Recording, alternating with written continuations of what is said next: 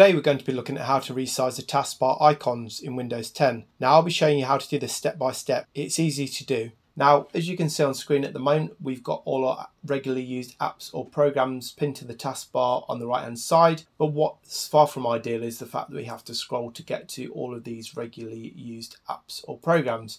And it's much easier if they're available literally in front of us at a glance. So also that has less impact on your productivity.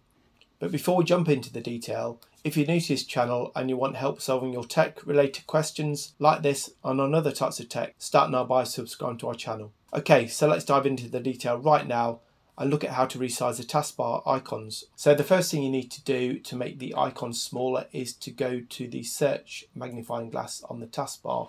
Now this may well be at the bottom of your screen or it could be on the left or right of the screen, oh, sorry, left or top of the screen. But in order to get to the taskbar settings, if you type taskbar in the menu here, and if you go to taskbar settings here, left click the mouse. Now the option you're looking under the taskbar menu is use small taskbar buttons. So in order to make them smaller, left click on the mouse and toggle them on. And as you can see, the icons are now a lot smaller, but they are all available at a glance and there is no scrolling. If you found our video useful today, please give it a thumbs up. But many thanks for watching. We'll see you on the next video.